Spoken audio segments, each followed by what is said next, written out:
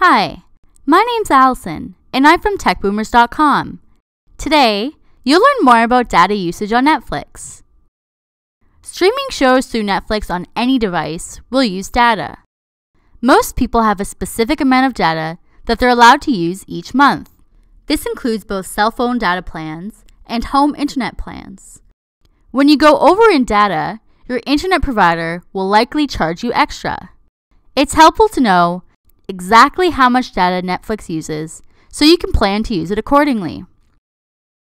Here's what you'll learn in this tutorial.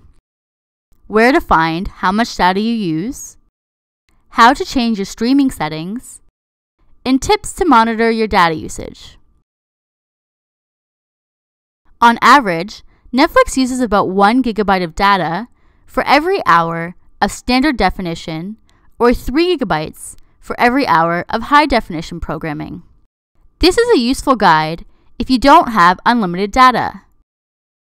To change your data usage, first click your name in the top right corner of the page. Then click Your Account. Under My Profile, click Playback Settings. Here, you can change the data usage per screen.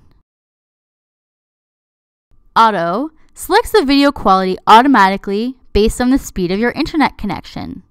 It will typically use the highest video quality that your internet connection will allow. It's important to note that the auto setting doesn't take into consideration the monthly data limit of your internet service plan. If you are already over your data limit, you will continue to stream at the highest possible video quality setting your connection speed will allow. Low uses the lowest amount of data and results in basic video quality.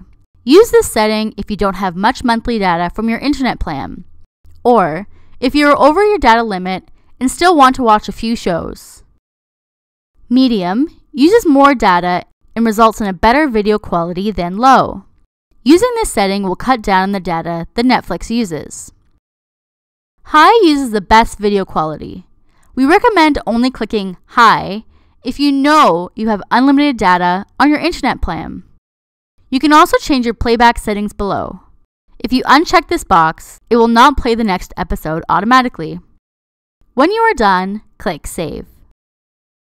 If you're still wondering just how much Netflix you're able to watch each month, we recommend calling your internet service provider to find out before you stream too much.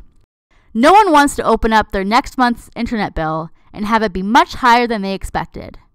After a couple weeks, call your internet service provider again just to figure out how much data you've used. This will give you an even better idea whether auto, low, medium, or high quality streaming is best for you. If you are watching on YouTube and want to follow a written step-by-step guide for this tutorial, click here.